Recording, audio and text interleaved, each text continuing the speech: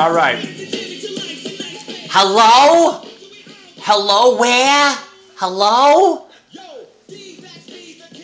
A common question that is put forth to the majesty. What word was that that I just used? A common question is how do you do it? How do you overcome the pain and the anguish and the fury and the depression and the rage of having a bad day? You don't. You never.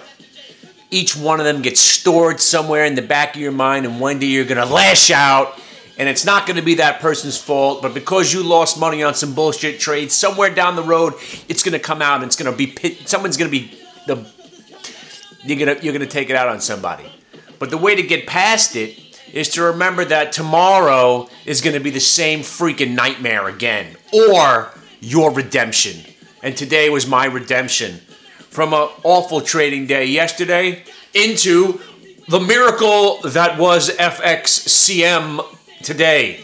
Buying it on the dip when it didn't break 250, holding it till around 285, buying it again at 285 after it went to 3, bought it at 285 on the pullback, used the 285 as my stop, watched the stock go to 313, sold it again, bought it again at 320 to then get it to 350, then to sell it and go short at 350, knowing well that that's where the algorithms generally like to sell stocks up a nice 50% of the on the day the stock was and coming into a big half number late in the day my friend said, Why? Why would you sell this thing? I thought you just said it has a chance to go to five. I said, Yes, it does have a chance to go to five. That's why I own the May 250 calls, just in case this thing does go to five. But right here, I'm selling the stock and I'm going short. Why would you go short?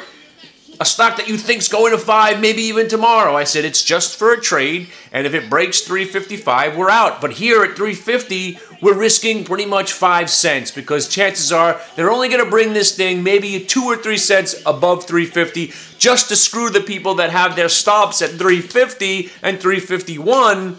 They'll maybe bring it to 352 or 353, but they didn't even do that.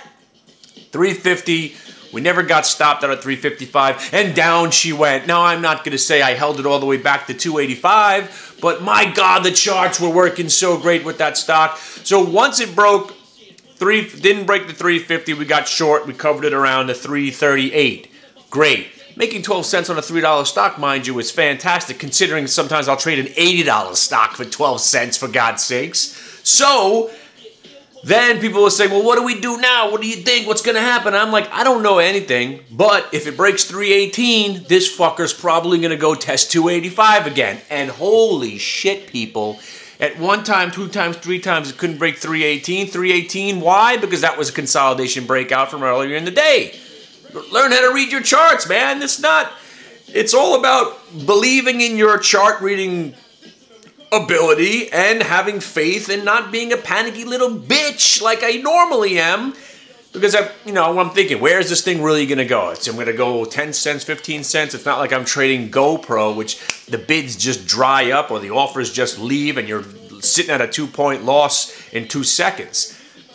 So, when it broke 318, it was only logical for this thing to come back to 285. Then, holy crap, when it went back to 285, that's right, we bought the fucker again, 287 and wrote it back to $3. So it's a day like that where, and mind you, we held our we dollar cost average one more time. One more time in that stinking piece of shit US Steel. And and here it is. I'll get back to you, friendo. My boy Ryan. We're gonna start doing some vaporizer in, uh, in, infomercials because if you're gonna get involved in the vaporizers, you should learn what vaporizers are out there that'll serve your purposes. Um, what was I gonna say? All right, all right. Stop ringing the phone.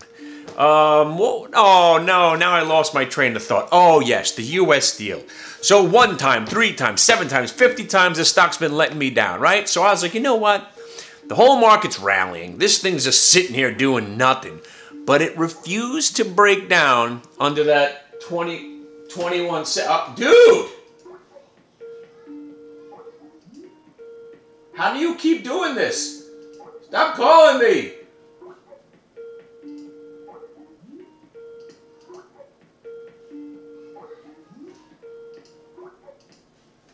Wow. I, I, I didn't couldn't find the freaking button. Ryan. After 30 rings, don't you assume that I'm not here? Anyway, so US Steel, dollar cost averaging works. Again, of course, as long as you don't own MCP or Walter Energy or Cliff or BTU or GoGo or Kandi, which is going to bring me to my last point, and I'm going to wrap this up because I've been up for about 36 straight hours. I couldn't sleep. I had my buddy coming to the house for a VWAP session. I was up thinking the ECB was going to be earlier than it was. I couldn't fall asleep. I started watching all kinds of stupid TV I haven't seen in a while. Next thing you know, it's four in the morning.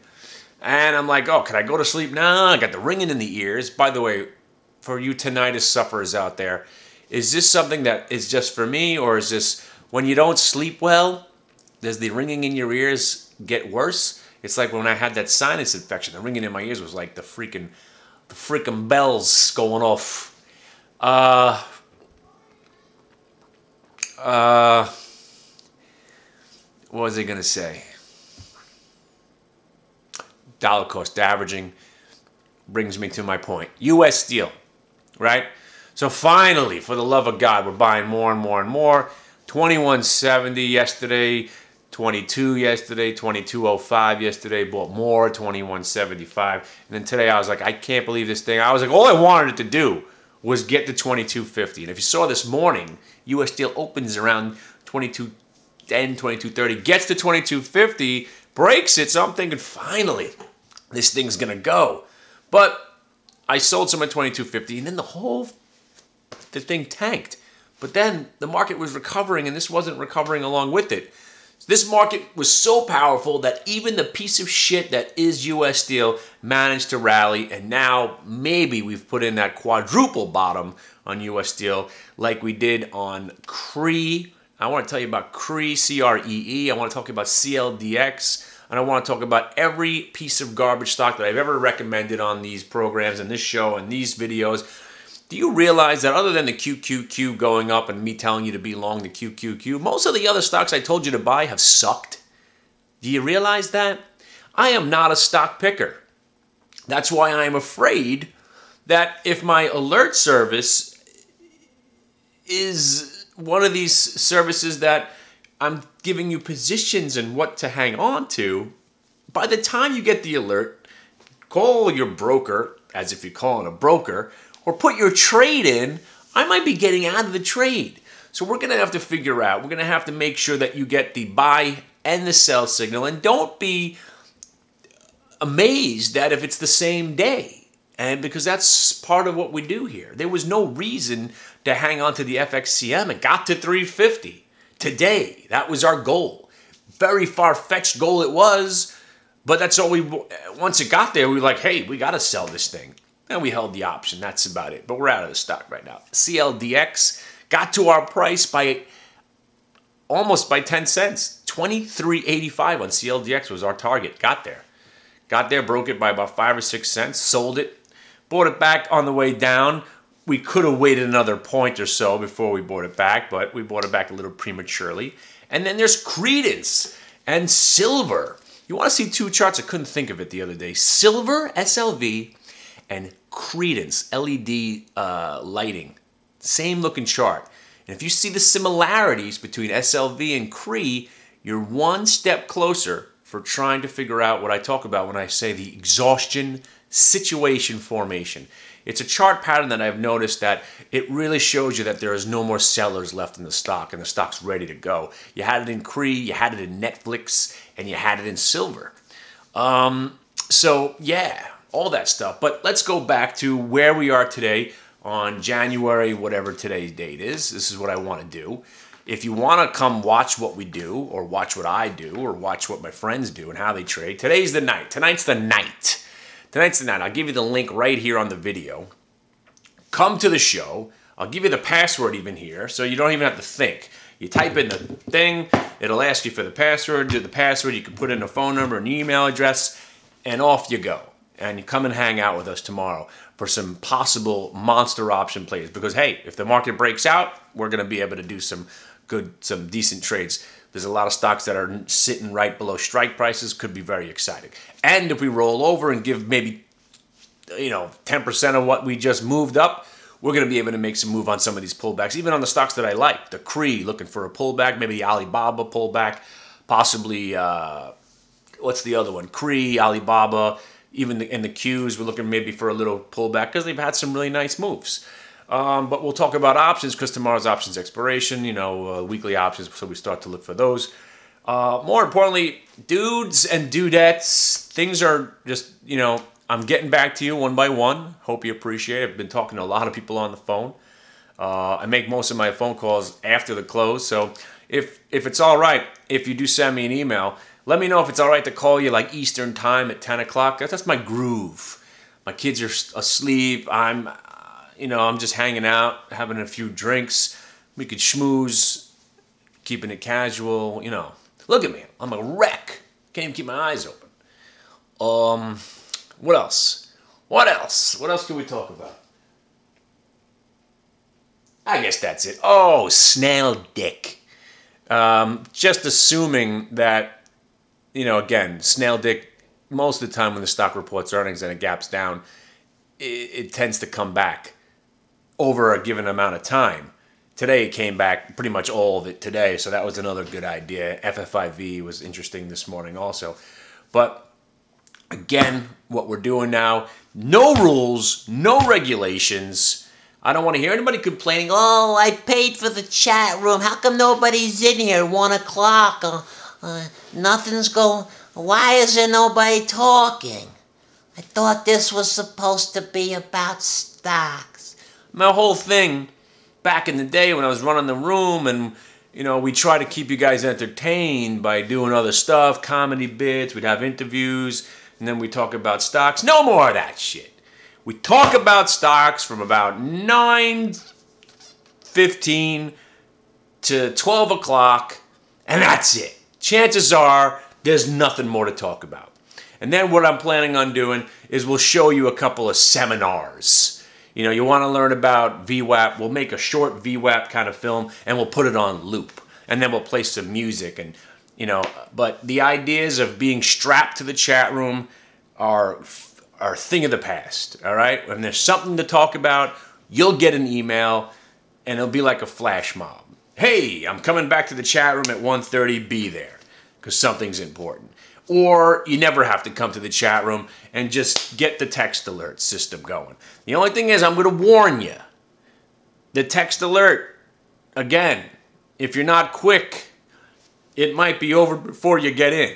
Chances are, I mean, there's no way we could have been sending text alerts with FXCM. Buy it. Oh, it. sell it. Oh, sell it now. Oh, buy it back. Buy it back. Sell it. Sell. Buy it back. We did 14 trades in the stock. You're getting your phone would have been like, what? Oh, wait, wait, buy it. Sell, sell it. I'll buy it.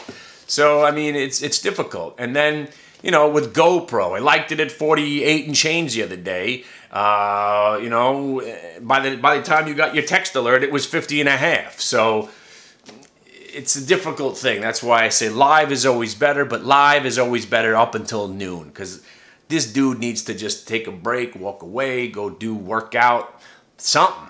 Something other than sitting in that room staring at screens. I could handle it from 9:30 to 12. And after that, private sessions, you want to learn about VWAP, you want to learn about option strategies, it's all going to be a part of it. And like I said, if you don't think being a part of what I'm doing is worth any amount of money, five grand, ten grand, a hundred thousand dollars worth of information, today alone would have been if you paid 500 bucks for two months you made it today. If you paid a $1000 for six months you made it today. If you paid 2000 for the year you made it today. And then now everything's cake. Is that the saying? Now everything's butter or gravy you've already made the money that you laid out to learn Now it's free forever. It's awesome.